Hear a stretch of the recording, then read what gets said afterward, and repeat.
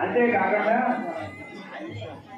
ఉత్సవాల సమయం పెట్టబోతుంది ఆ క్షేత్రం నుంచి వేసేటటువంటి ఆవుని ఏదైతే